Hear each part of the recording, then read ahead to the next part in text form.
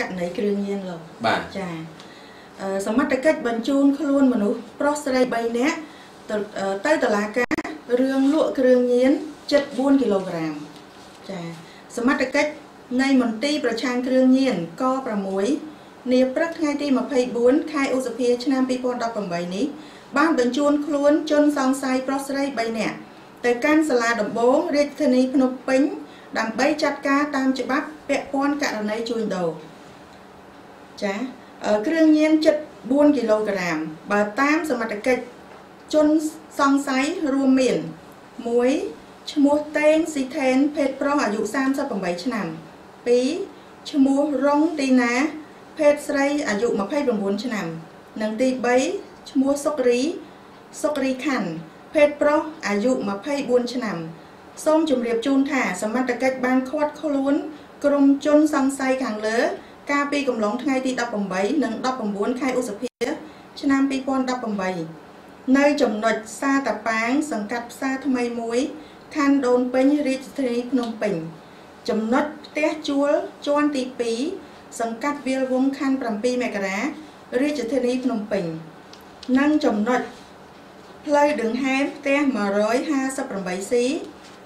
ភូមិបឹងសាឡាង សង្កាត់ឫស្សីកែវខណ្ឌឫស្សីកែវរាជធានីភ្នំពេញក្រោយឃាត់ខ្លួនក្រុមជនសង្ស័យសមត្ថកិច្ចបានដកហូតគ្រឿងញៀនសរុប3622.76ក្រាមដែលនៅក្នុងនោះរួមមាន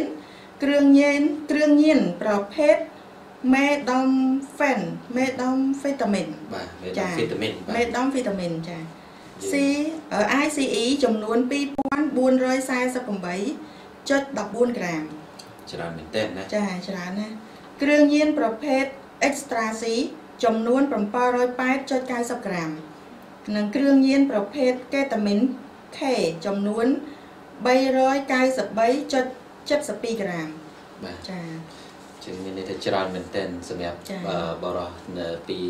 ទាំងស្រីទាំងប្រុស3នាក់ហ្នឹងបាទចាគាត់ហ៊ានជួញដូរគ្រឿងញៀនខ្ទង់ទ្រាយខ្នាតធំហ្នឹងណាចា៎បាទច្រើនណាស់ណាចាអញ្ចឹងមិនដឹងថាការដាក់ទោសទណ្ឌវាមិនដឹងទៅកម្រិតណាទេយើងអាស្រ័យទៅលើខាងសាលាការចាបាទចាសមាជិកសាលាការគាត់សាលាការកសាងសំណុំរឿងទៅចាតែយើងដឹងហើយថាគ្រឿងញៀនគឺជាអាខែ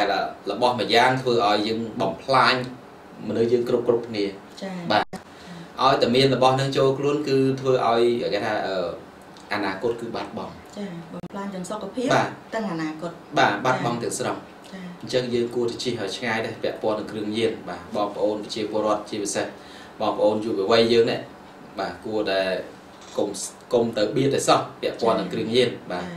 ព្រោះយើងដឹងថាកាលណាដែលយើងកាន់យកមកប្រើប្រាស់គឺមានន័យថាយើងមានទោសមានតុងអីហើយហើយចាបាទកាលណាគេចាប់បានទៅវាអាចនឹងបង្កឲ្យយើងនឹងជាប់ទោសទណ្ឌដែរចាបាទ